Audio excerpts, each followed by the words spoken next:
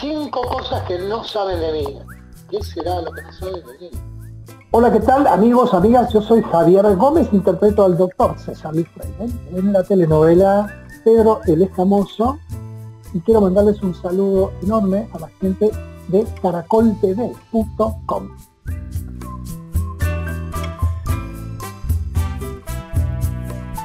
Bueno, la primera, tal vez lo sepan algunos, otros no, soy eh, ingeniero civil, ingeniero civil recibido en la Universidad de Buenos Aires.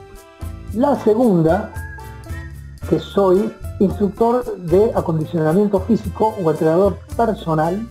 comencé con a meterme en clases de gimnasia aeróbica, de aerobics. El aerobics fue una disciplina que en los 90 fue como furor. Y empecé a entrenar allá el aerobics porque me gustaba la música, me gustaba el baile el ejercicio, siempre fui deportista, me encantaba la biología.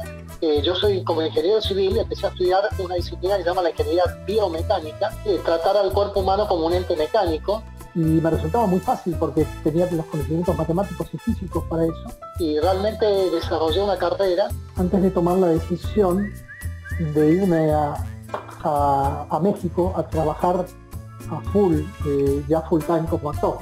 Lo sigo haciendo, lo retomé y la pandemia me ha ayudado mucho para hacerlo virtualmente a través de Zoom. La tercera, que en mi época de juventud, en mi adolescencia, yo vivía en Estados Unidos, en Washington, y comencé a estudiar guitarra, música. Me gustaba mucho la música folk, la folk americana, la música folk americana. Yo era fanático en esa época de, Beatles, los Rolling Stones, por supuesto. Esa sería la tercera, después lo, dejé. La cuarta cosa que no saben de mí es que mis canas, que cada vez tengo más y abundantes y más blancas, me comenzaron desde muy temprano, es decir, no es que cuando yo estaba haciendo Pedro el escamoso se me veía canoso, no tanto, pero se me veía canoso, pero yo tengo canas desde, que tengo 28 años, 19, que empezaron a, empezar a salir de la canas.